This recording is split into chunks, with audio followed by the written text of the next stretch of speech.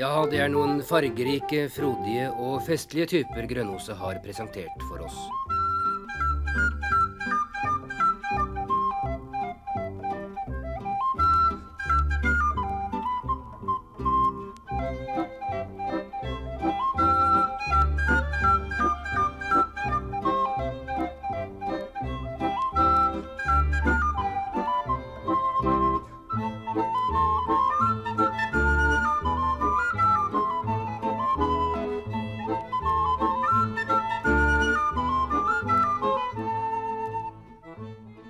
Hvorfor ble det din livsoppgave å lete fram hverdagssliterne fra sti og stue?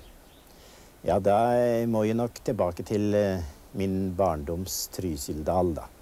Det var en, eh, en stille dal. Det var en dal der det ikke skjedde da så mye, men vi snakket veldig mye om eh, mennesker og menneskeskjebner. Folk som hadde trødd disse veiene, og, og som levde under andre forhold enn vi var vant med. Dette syntes jeg var spennende, og da var det naturlig for meg senere å følge opp i fotsporene der det fantes sånne mennesker, og, og disse miljøene de levde i.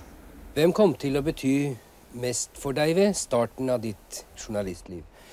Jeg var så heldig at jeg hadde en, en gammel tante som bodde hjemme på, på Grønose. Marte heter hun. Hun var forresten tante til far min, da, men hun var nå tante til oss alle sammen.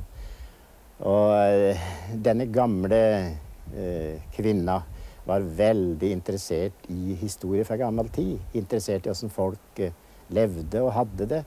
Livsvilkår og overtro og alt dette. Så jeg syns det å sitte ved rocken hennes når hun hadde fått tent på krokpipa si og var i form, så syns jeg alltid det var noe av det mest spennende jeg visste.